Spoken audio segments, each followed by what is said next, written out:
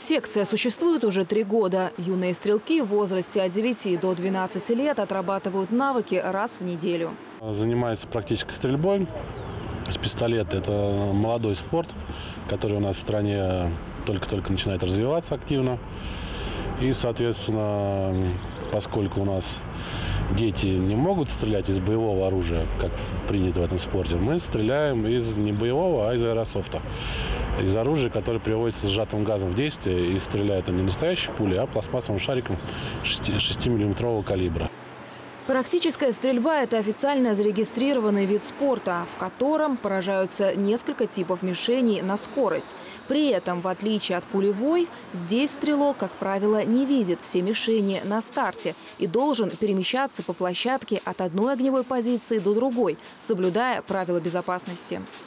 Международная федерация вот эту э, практическую стрельбу с аэрософтом признала только в этом году, в 2015, в прошлом, то на соревнованиях мы стали выступать только вот, э, в 2015 году, в конце 2015 года. И уже к этому времени приняли участие где-то в четырех или в пяти соревнованиях, в том числе э, на открытом чемпионате Москвы. Самый опытный и титулованный стрелок секции Иван Бахтерев. В этом году на открытом чемпионате Москвы среди юниоров он занял первое место. У меня было волнение, я вовремя сосредоточился, э, когда были соревнования.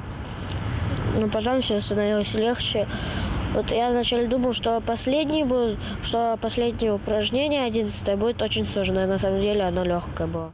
Занимаются в кружке девочки. Десятилетняя Ксюша пришла в секцию вслед за старшим братом. Стрельба ее так увлекла, что теперь она постоянная участница различных соревнований по этому виду спорта. Я участвовала в трех соревнованиях.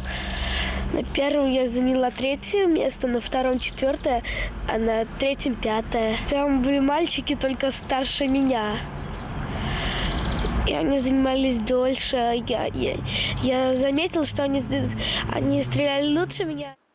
А брат Ксюши Дима, помимо этой секции, посещает кружок радиоэлектроники, музыкальную школу, занятия борьбой. Но на первом месте все-таки стрельба. Почему я его выбрал? Потому что мне показалось это интересным стрелять из пневматического оружия по там разным мишеням, участвовать в соревнованиях. Освоение культуры обращения с оружием под руководством опытного инструктора прививает подростку массу жизненно необходимых положительных качеств. Это чувство самоконтроля, ответственности, самодисциплины, а динамичные перемещения, упражнения и задания различной сложности развивают координацию движений, ловкость, концентрацию и умение быстро принимать решения. Наталья Буслаева, Павел Игнатьев, Екатерина Чернышова, Видное ТВ.